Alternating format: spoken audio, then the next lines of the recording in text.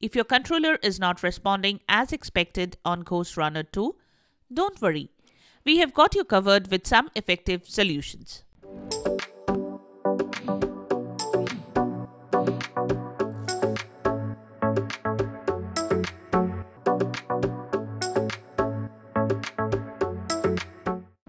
Welcome back to silicophilic.com, your go-to source for tech tips and fixes.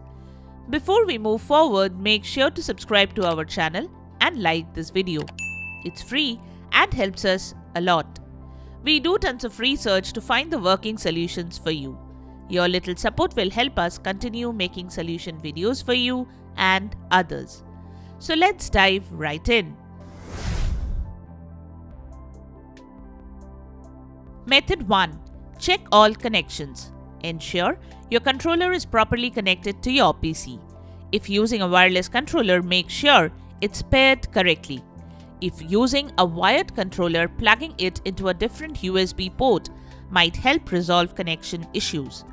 Sometimes a simple restart can also fix the connectivity issues. Restart your game to fix any major glitches on your PC. Method 2. Update all drivers. Sometimes outdated controller drivers can lead to functionality problems. Visit the manufacturer's website to download and install the latest drivers. You can also manually update the device drivers. On your Windows 11 PC, open the device manager from the start menu. Locate your controller here, right click and choose update driver. Also, disconnect any other controllers and ensure no unknown devices are present. Method 3. Disable Steam input. While Ghostrunner 2 works at the default Steam input settings, we actually recommend disabling it so the game loads the proper profile set by the developers. If you are using Steam, you can try disabling Steam input to fix controller glitches. First, quit the game. Open Steam and navigate to your game library. Locate Ghostrunner 2 here and right click on it. Select Properties. In the Properties window, go to Controller from the left pane.